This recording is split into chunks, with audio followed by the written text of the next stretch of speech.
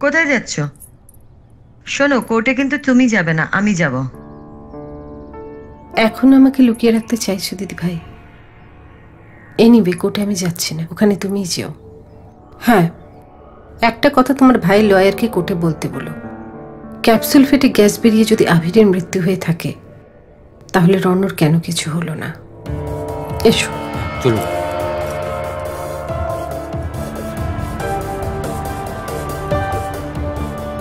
দাদার makeup man Raghu আবিরের makeup man মিহিরদা ড্রেসার তিমিরদা আর হেয়ার ড্রেসার সোনিয়া। আচ্ছা। আপনাকে কালকে ফ্লোরে দেখেছিলাম। দাদার বাড়ি থেকে এসেছিলেন। কী সব দিতে? হ্যাঁ উনি দাদার আত্মীয়। তবে সেটা ছাড়া ওনার আরেকটা পরিচয়ও আছে। ডিটেকটিভ নাকি?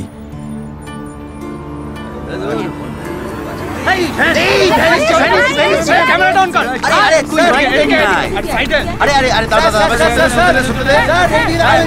হ্যালো দাদা সেদিন শর্টের আগে আভিরে মেকআপ ভ্যানে গিয়েছিল। ওখানে ঠিক কি হয়েছিল?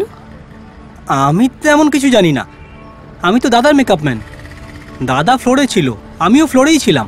আর তাছাড়া আমি তো সবসময় দাদার সাথেই থাকি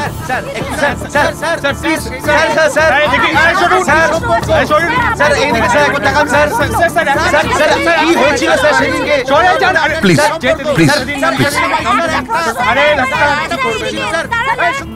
আমি এই ইউনিটের ড্রেসার সকালবেলা ওনাকে কস্টিউমটা দিয়ে দিয়েছি তারপর আমাকে আর লাগেনি তখন আমি ওই জুনিয়র কস্টিউম ইস্ত্রি করছিলাম বিশ্বাস না হয়তো আমার অ্যাসিস্ট্যান্টদের আপনি জিজ্ঞেস করতে পারেন স্যার উত্তরটা স্যার স্যার স্যার স্যার সেদিকে সেদিকে স্যার ফ্লোরে স্যার স্যার স্যার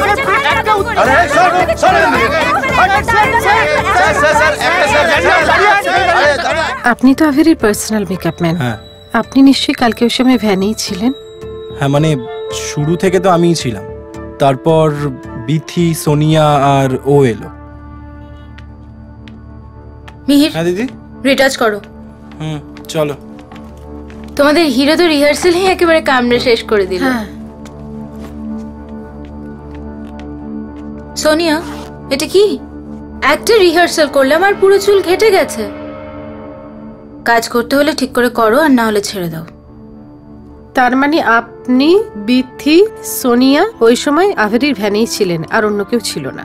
হ্যাঁ মানে ওই সময় তো আর কেউ ছিল না। আর অন্য সময়? সকালে রণজয়দা এসেছিল। অনেকক্ষণ ছিল। কি কথা হয়েছিল? সেটা জানি না। রণজয়দা এলে আমরা বেরিয়ে যাই।